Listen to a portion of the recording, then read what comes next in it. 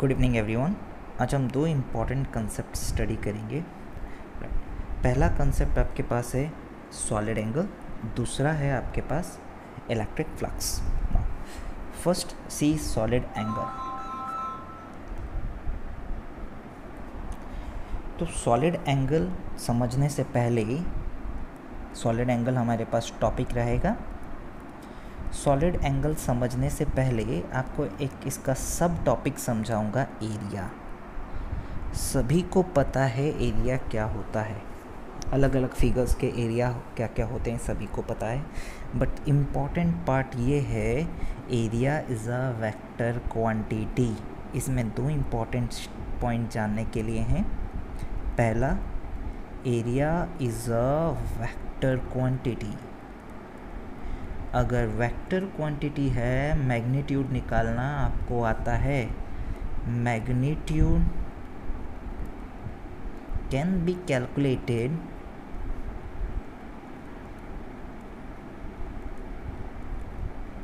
by various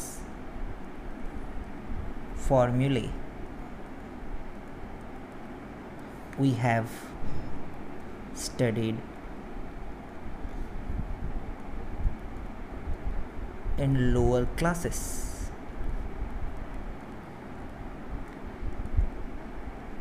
जैसे area of rectangle is length into breadth area of square is pi r square area of sphere is four pi r square area of cylinder that is curve surface area of cylinder is two pi r h ये different surfaces का आप area निकाल सकते हैं but जो important चीज़ मैं आपको बताने जा रहा हूँ direction direction of area is always perpendicular to the surface and towards the observer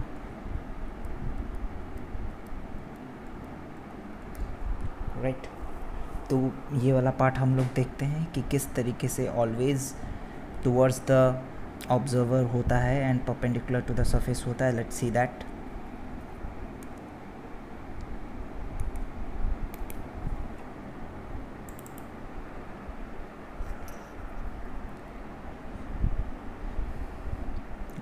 now here are various solids.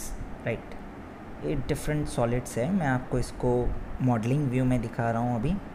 फिर मैं आपको इसका डिटेल व्यू भी दिखाऊँगा। डोंट वरी अबाउट दैट ना दिस आर वेरियस सॉलिड सबसे पहले हम लोग कुछ सॉलिड को स्टडी करते हैं। जैसे कि दिस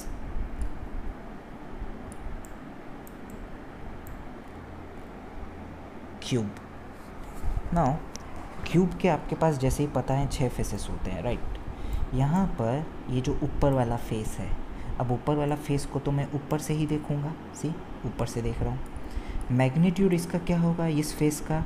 क्यूबॉइड है या आपके पास एक रेक्टेंगुलर फेस अगर है आपके पास तो लेंथ इनटू ब्रेथ अब डायरेक्शन आप देख लो। डायरेक्शन क्या है? परपेंडिकुलर टू द सर्फेस अब आप ये ये वाला एरिया देख लो ग्रीन वाला एरिया यहाँ ग्रीन वाला एरिया में भी सेम है। डायरेक्शन क्या है? Perpendicular to the surface and red वाला देख लो। परपेंडिकुलर है। सिमिलरली एक स्पीयर है और इसके इस पॉइंट पे मैंने परपेंडिकुलर बनाया है। ये परपेंडिकुलर कैसे बनाया है? इस पॉइंट को स्पीयर के सेंटर के साथ ज्वाइन किया है। वो दिखाया जाएगा। सेंटर के साथ कैसे ज्वाइन किया है? तो ये स्पीयर को क्या बन गया? परपेंडिकुलर बन गया। कभी भी स्पीयर का सरफेस एरिया बनाना चाहेंगे तो ऐसे ही बनाएँगे। सिमिलरली हम लोग बात कर रहे हैं अब फिर सिलेंडर के बारे में। ये रहा सिलेंडर सिलेंडर के तीन सरफेस होते हैं। अब ऊपर वाला सरफेस है तो ऊपर से देख रहा हूँ। तो एरिया भी देखो ऊपर एरिया वेक्टर कहाँ पर है? ऊपर की तरफ़ है क्योंकि ऊपर वाला सरफेस इज़ विजुअलाइज ऊपर से ही राइट तो इसका एरिया वेक्टर देखो ऊपर की तरफ़ है। ना अब जब नीचे वा, साइड वाला सरफेस नीचे वाला सरफेस फिर साइड वाला सरफेस के बारे में आएँगे। हम नीचे वाला सरफेस के बारे में देखेंगे अभी। नीचे वाला सरफेस देखो। नीचे वाला सरफेस कहाँ पर है? सेम इसका area vector towards the observer area vector is always towards the observer does not matter क्या हो रहा है। ये हमेशा ऑब्जर्वर के टूवर्ड्स ही रहता है एरिया वेक्टर एंड लास्ट आपके पास साइड वाला पार्ट है। ये वाला। ये रेडियली आउटसाइड क्योंकि कोई भी कर्व सरफेस को अगर आप बनाना चाहेंगे तो वो कर्व सरफेस के सेंटर को ज्वाइन कर दें। तो ये रेडियली आउटवर्ड है। जिस तरीके से मैंने आपको इलेक्ट्रिक फ़ील्ड का दिखाया था रेडियली आउटवर्ड ये वही रेडियली आउटवर्ड डायरेक्शन है। बस इसको इसके एक्सिस के साथ ज्वाइन कर दिया सेम हॉरिजेंटल लेवल पे राइट तो आप इसका अगर डिटेल्ड व्यू देखना चाहेंगे कि ऐसे ही सेंटर के साथ ज्वाइन हुआ है कि नहीं हुआ है you can see it's detailed view जैसे कि अगर मैं मान के चलो इसको ज्वाइन किया, इसको एंड इसको सिलेक्ट किया तो आपको पता चल जाएगा ये पार्ट में कि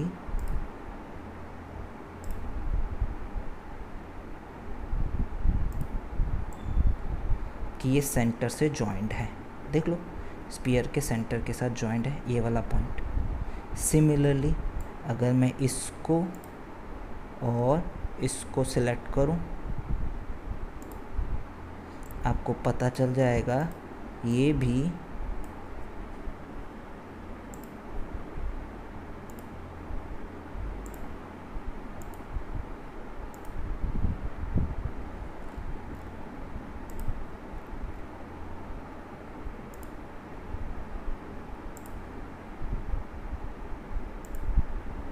राइट ये भी ज्वाइंट है आपके पास।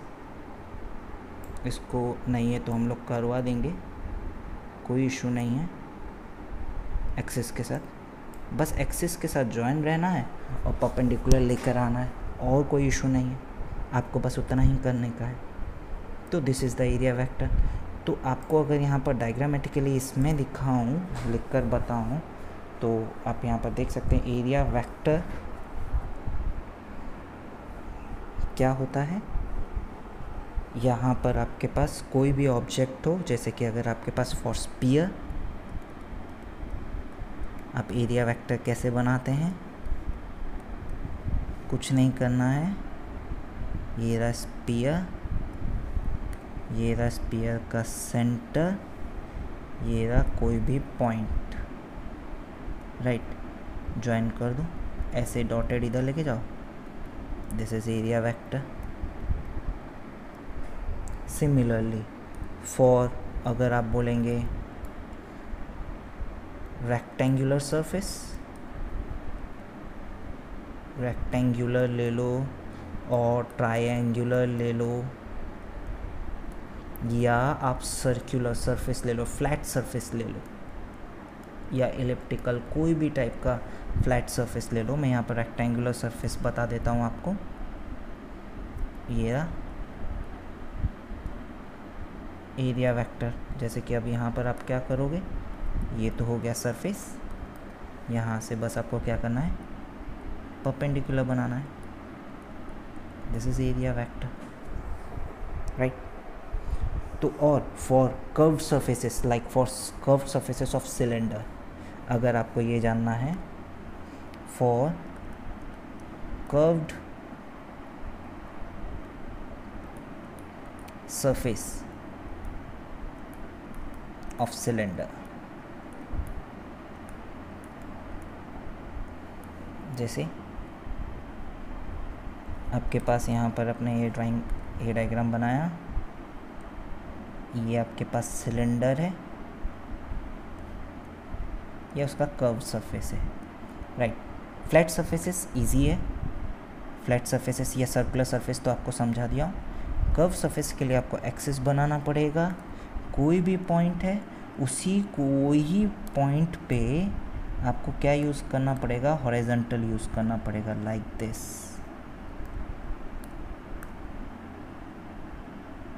like this horizontal arrow mark होगा उसी पॉइंट पे। ऐसे नहीं कि हाँ ऊपर से बना है, नहीं, उसी से ही रेडियली आउटवर्ड अगर आपको ये वाला पॉइंट पे देखना है if point chosen is this one then same काम करना है। इसी लेवल से, इसी लेवल से इधर जाएगा।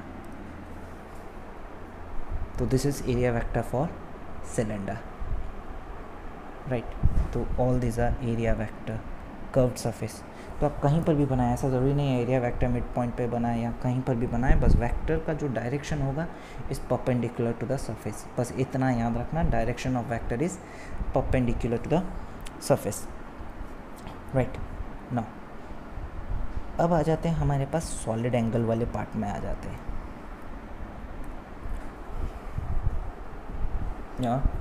Solid angle now difference between solid angle and plane angle plane angle आपके पास क्या होता है? फिर सॉलिड एंगल आपके पास समझाएँगे। प्लेन एंगल आपके पास होता है an angle formed by intersection of two lines उसको प्लेन एंगल बोलते हैं। कोई भी दो लाइन का इंटरसेक्शन जैसे यहाँ पर एक लाइन ड्रॉ किया और यहाँ पर एक और लाइन भी ड्रॉ किया, उसको इंटरसेक्शन दिस इंटरसेक्शन एंगल को हम लोग प्लेन एंगल बोल देंगे, ये वाला एंगल को राइट और ये हमेशा दो लाइन से ही बनता है। और किसी चीज़ से प्लेन एंगल नहीं बन सकता चांस ही नहीं है। दो लाइन का इंटरसेक्शन से ही आपके पास प्लेन एंगल बनेगा। एक लाइन और दूसरा line right but solid angle is quite different what is solid angle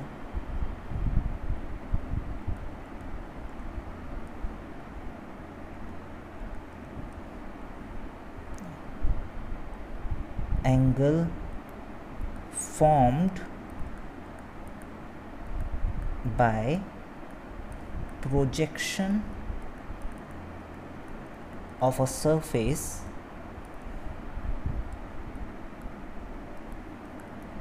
at a point. ये प्रोजेक्शन ऑफ़ द सरफेस का मैं बेस्ट एग्जांपल आपको देता हूँ प्रोजेक्शन ऑफ़ द सरफेस का। यहाँ पर मान के चलो, आपके पास क्या है? एक सर्कुलर सरफेस है।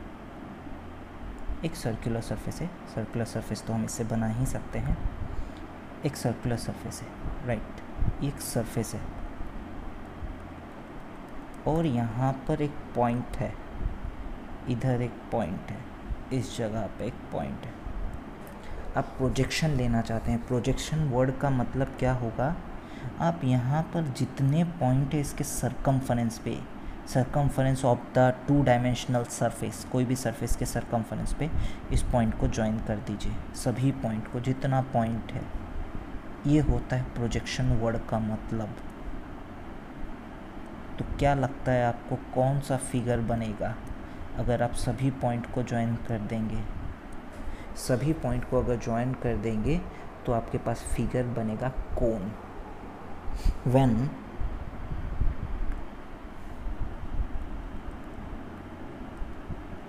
a circular surface is projected a cone is formed और ये जो एंगल को ये जो यहाँ पर आपके पास थ्री डिमेंशनल एंगल बन रहा है देखो यहाँ पर, ये जो ऊपर का कोन एंगल जो बनता है आपके पास, ये ऊपर में, ये जो कोन एंगल आपके पास बनता है।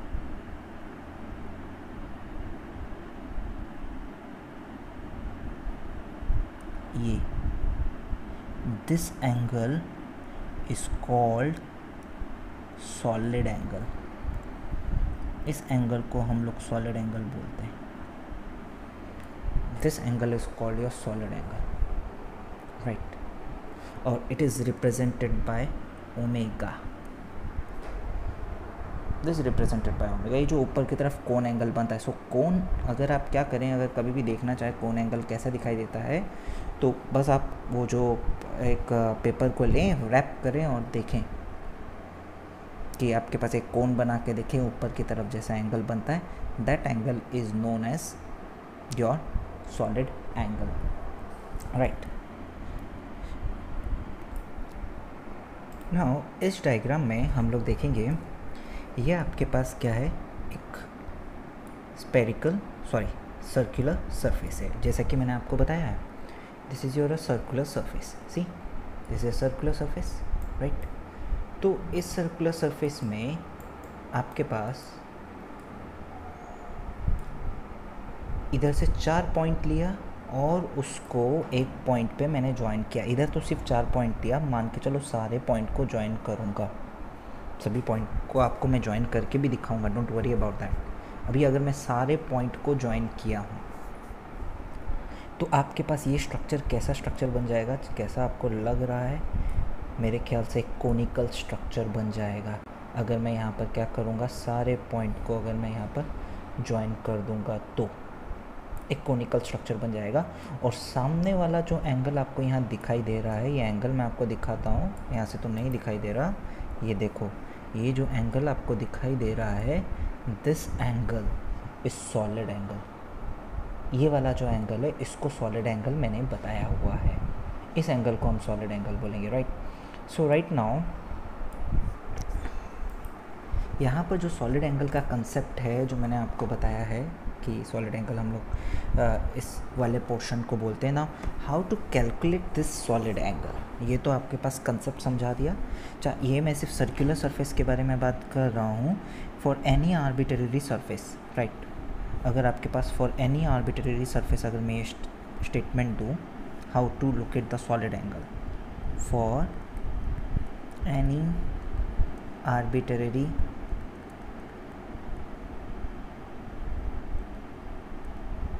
surface आपके पास यहाँ पर एक पॉइंट है और यहाँ पर आपके पास ये एक सरफेस कोई भी सरफेस कैसा भी शेप का सरफेस है राइट ये रहा। All you need to do is to join all the points from the circumference सारे पॉइंट को ज्वाइन करो। हम लोग बेसिकली चार पॉइंट लेते हैं। चार पॉइंट लेते हैं, क्योंकि बाकी सारे पॉइंट को ज्वाइन करने के लिए दिखाने की ज़रूरत नहीं है। तो यहाँ पर लिया, और ये जो एंगल आपके पास बनेगा दिस एंगल सी ये एंगल जो आपके पास बन रहा है that angle is called your solid angle this is your solid angle मतलब कोई भी सरफेस एक पॉइंट पे जो एंगल प्रोजेक्ट करता है। बेसिकली हम लोग जो एंगल के बारे में बात करते हैं कोनिकल एंगल के बारे में बात करते हैं। याद रहे, हम जो भी एंगल के बारे में बात करते हैं कोनिकल एंगल के बारे में ही बात करते हैं। राइट तो अब कोई भी सरफेस का आप सॉलिड एंगल निकालने का फॉर्मूला क्या है? ये आपको समझाया जाएगा। हम लोग जब सॉलिड एंगल निकालते हैं तो जनरली स्पीयर का ही निकालते हैं। कैसे स्पीयर का निकालते हैं, मैं आपको समझाता हूँ। जैसे फॉर एग्ज़ाम्पल हमारे पास यहाँ पर एक कोन है। एक स्पीयर का निकालने का है, वो मैं आपको समझाता हूँ, देखना किस तरीके से निकालते हैं। इसको मैं एक थ्री डायग्राम से आपको समझाऊँगा। Let's see how to calculate this solid angle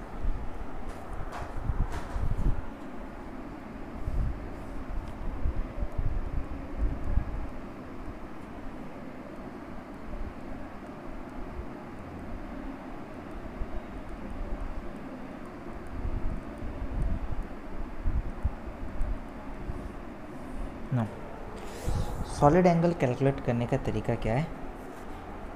आप पहले कोई भी सरफेस एक सिलेक्ट कर लेंगे, जैसे मैं ये कोन के सरफेस मतलब ये यही सरफेस के बारे में पहले मैं बात कर देता हूँ।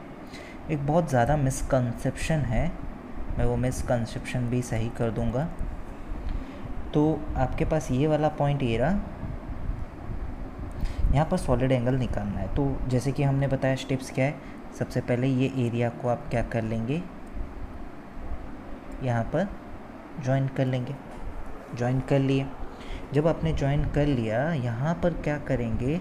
एक पर्टिकुलर आर रेडियस का ज्वाइन करने के बाद, ये पर्टिकुलर आर रेडियस का एक स्पीयर बनाएँगे।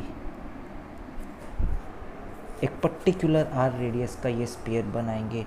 ये जो कोन इस पियर को जितने एरिया में इंटरसेक्ट कर रहा होगा बिकॉज़ यहाँ पर कौन भी तो पर्टिकुलर एरिया में इंटरसेक्ट कर रहा होगा, जैसे इधर, ये वाला, ये जो स्पेरिकल एरिया जो आएगा इधर, हम लोग ये एरिया कंसिडर करेंगे, ना कि उसका। ये जो एरिया आएगा फॉर्मूला होता है सॉलिड एंगल का omega equals A by R square ये एरिया दिस एरिया इसने इधर जो बनाया मतलब this is area projected on the sphere तुमको बस समझा रहा हूँ, ये बेसिक कंसेप्ट है हायर कंसेप्ट हमको इतना ज़रूरत नहीं पड़ेगा, हमको जितना ज़रूरत पड़ेगा, मैं वही बता रहा हूँ बस। ज़्यादा कुछ नहीं कर रहा हूँ। मतलब अगर मैं आपको इसका एक थ्री व्यू दिखाऊँ तो आप इसका थ्री व्यू देखेंगे कि किस तरीके से आप प्रोजेक्शन दिखाना चाहते हैं। फॉर एग्ज़ाम्पल मैं यहाँ पर सबसे पहले क्या बना लूँगा? एक स्पीयर बना लूँगा। दिस इज़ योर स्पीयर उसका कोई ना कोई सेंटर तो होगा ही होगा। डेफिनेटली होगा। अगर सेंटर बनाने के लिए मैं यहाँ पर एक्सेस इंसर्ट कर लेता हूँ। तो अपने पास यहाँ पर एक्सेस भी आ गई। सेंटर बनाने के लिए।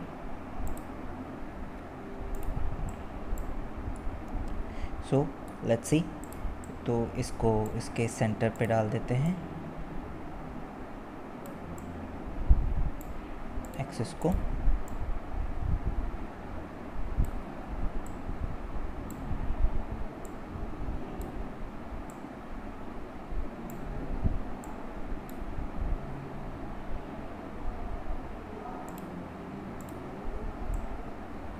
Now you can see that axis अपना सेंटर पे आ गया है। बस थोड़ा सा ये रहा।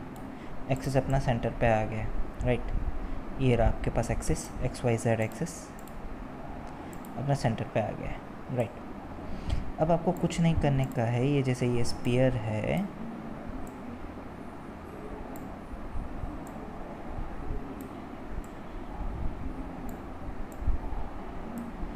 अब आपको मैं वो एरिया दिखाता हूँ, वो जो कोन वाला एरिया जैसे इसको मैं वाइट कलर दे देता हूँ।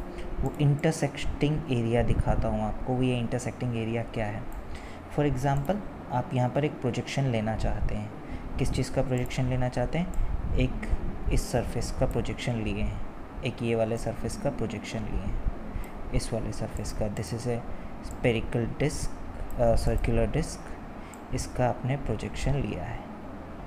कहीं। यहाँ पर आपने प्रोजेक्शन लिया है।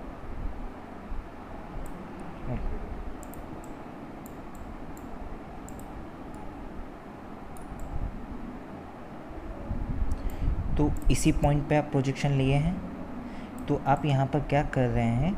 एक, यहाँ पर बहुत सारे लाइन से उसके सेंटर को ज्वाइन करेंगे। जैसे कि मैं आपको ऑलरेडी दिखा दिया हूँ, समझा दिया हूँ कि बहुत सारे लाइन से हम लोग कैसे ज्वाइन करेंगे। यहाँ पर से एक ऊपर से एक लाइन उठाएँगे यहाँ से उठाएँगे, इधर सेंटर में, यहाँ से उठाएँगे, इधर सेंटर में तो आपके पास एक पर्टिकुलरली क्या बन जाएगा ना? कोन बन जाएगा। तो हम लोग वही कोन बना के देखते हैं जो यहाँ पर बनेगा। इस जगह पे बनेगा, इसी का ही। जो सभी लाइन को ज्वाइन करने से, इसी की सभी लाइन को ज्वाइन करने से जो कोन बनेगा, वो बना के देखते हैं यहाँ पर। लेट्स सी और फिर उसका प्रोजेक्शन लेते हैं। कोन बना के उसका प्रोजेक्शन लेते हैं। कोन का शेप साइज़ सेम ही रखा जाएगा। जो डिस्क का है।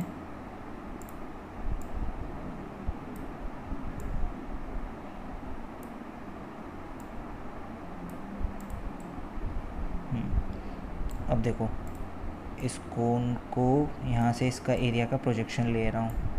थोड़ा सा ज़्यादा साइज़ है। अब ठीक है। अब देखो, जैसा डिस्क का है, वही कोन का है। अब इसका प्रोजेक्शन ले रहे हैं इसके सेंटर पे। इसके सेंटर पे लेने का है और इसके सेंटर कैसे पता लगाएँगे? इसको थोड़ा सा नीचे ले आते हैं। नहीं सेंटर पे नहीं जा रहा है। सी, अब इसको थोड़ा सा नीचे ले आते हैं।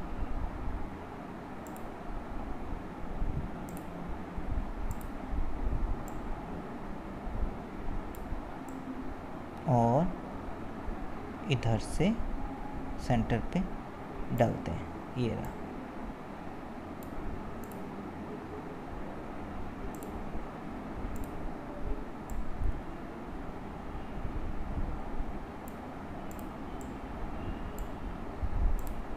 अब आप चेक कर सकते हैं कि सेंटर पे आ रहा है।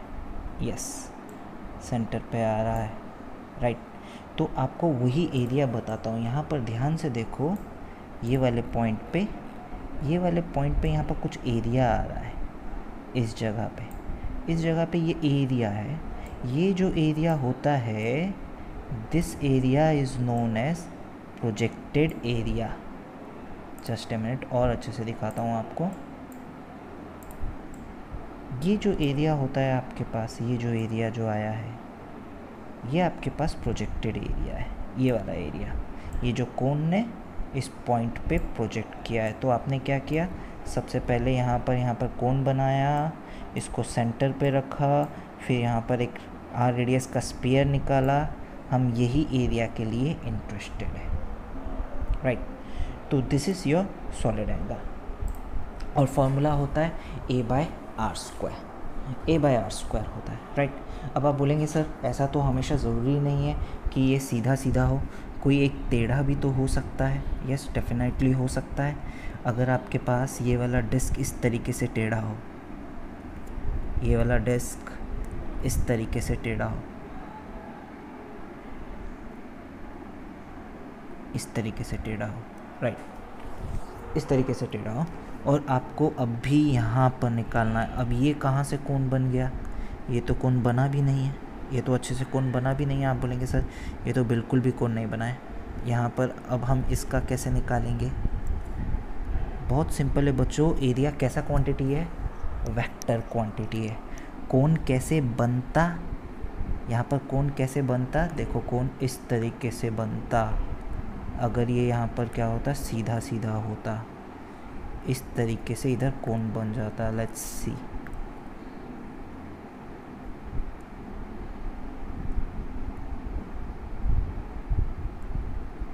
इस तरीके से कौन बन जाता? अगर यहाँ पर ये ऐसे सीधा होता तो ऐसे कौन बन जाता? पर कौन बना नहीं है राइट तो आप यहाँ पर कुछ नहीं करेंगे। ये कोई ना कोई एक एंगल पे तो टिल्टेड है ना? ये वाला पार्ट एक एंगल पे टिल्टेड है।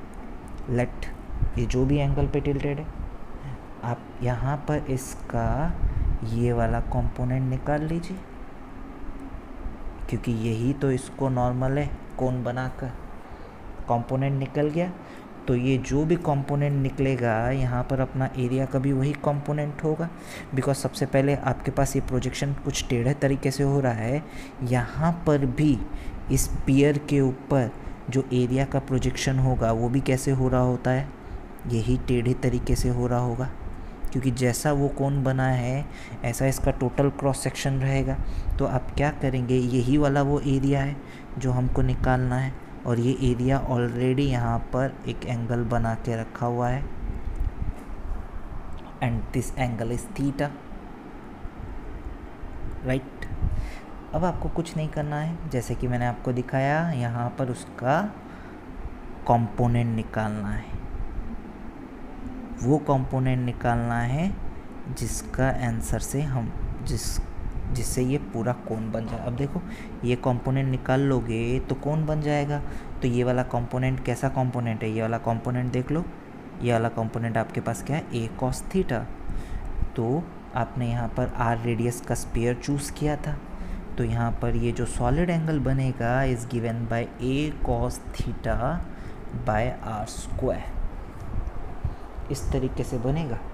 तो सॉलिड एंगल कैलकुलेट अब आप बोलेंगे, सर, ये वाला तो हमारे पास चलो स्पेयर हो गया। सॉरी एक सर्कुलर डिस्क हो गया। अब आपके पास, अगर कोई दूसरा भी है, कोई दूसरा भी, कोई भी आर्बिटरी शेप है फॉर एनी आर्बिटरी शेप और ये एरिया ए कैसे निकालेंगे? निकालना ही नहीं है आपको। ये रिक्वायर्ड ही नहीं है। ये ए एरिया निकालना रिक्वायर्ड ही नहीं है हमको अभी। निकालने के लिए हायर फिजिक्स है अपने पास। ये निकालने के लिए रिक्वायर्ड है ही नहीं अपन को राइट तो आपको ये जो बता रहा हूँ, वो ध्यान से समझेंगे। अगर आपके पास पूरा का पूरा एक स्पीयर है, ये इंपॉर्टेंट कंसेप्ट है जो हमको याद रखना है, जो हमको चाहिए, या चलो स्पीयर ये पूरा का पूरा स्पीयर है, फिर मैं कार्बिटरी शेप का बता दूँगा। स्पीयर एक अच्छा शेप है। राइट और यहाँ पर एक छोटा सा आपने एरिया सेलेक्ट किया। टू डायमेंशन में दिखा नहीं पा रहा हूँ मैं। तो यहाँ पर आपने एक छोटा सा एरिया सिलेक्ट किया। ये एरिया सिलेक्टेड है। Right right. छोटा सा एरिया तो ऑब्वियस ही बात है, मैंने आपको एरिया वेक्टर का डायरेक्शन क्या बताया? दिस इज़ एरिया वेक्टर का डायरेक्शन डी ए राइट और यहाँ पर रेडियस आर है। तो अगर एरिया छोटा है, यहाँ पर एंगल भी छोटा बनेगा तो फॉर अ स्पीयर ये छोटा सा angle is given by D A by R square right so अगर आप बोलेंगे, सर, ये पूरा एरिया इंटीग्रेट कर दें तो? पूरा एरिया तो आपके पास पूरा एंगल यहाँ पर कितना है, वो आ जाएगा। ना पूरा angle at the centre by sphere पूरा एरिया क्या होता है? Four pi R square by R square four pi steradian ये इसकी यूनिट होती है। ये हमारा बहुत काम आता है। Solid angle subtended by the sphere at the centre total sphere का अंदर की तरफ़ जो सॉलिड एंगल होता है that is four pi steradian होता है। Right right? तो ये जो आप बोल रहे हैं, ये जो डीए एरिया की वजह से आ गया ये स्पेयर का, अगर मान के चलो कोई भी आर्बिटरी शेप हुआ, कोई भी आर्बिटरी शेप हुआ, मान के चलो ये रहा this is an arbitrary shape ये कितना सॉलिड एंगल बनाएगा, इसका सॉलिड एंगल का स्टोरी क्या होगा? सेम स्टोरी रहेगा, यहाँ पर मैं यहाँ एक पॉइंट लूँगा, यहाँ से इसको ज्वाइन कर दूँगा, अब कितना एरिया ऐसे पूरा ज्वाइन कर दिया, ना ये कितना एरिया करेगा, यहाँ पर ये किया। अब आप बोलेंगे, सर, ये तो खुद आर्बिटरी है, आप कैसे निकालेंगे? यहाँ पर तो ये एक आर्बिटरी एरिया प्रोजेक्ट करेगा। कोई इशू नहीं है, इधर एक छोटा छोटा एरिया लेके निकाल लेंगे इंटीग्रेट कर देंगे इसी तरीके से, इसी तरीके से इंटीग्रेट कर देंगे।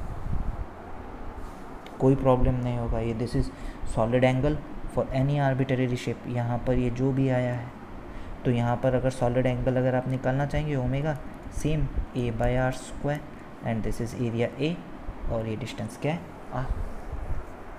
सबका सेम तरीके से निकलेगा। तो आपके लिए जो रिक्वायर्ड इन्फॉर्मेशन है, वो ये है कि एक पूरा का पूरा स्पीयर सेंटर में कितना एंगल सब्सटीट्यूट करता है? This four pi steradian right this is the concept of solid angle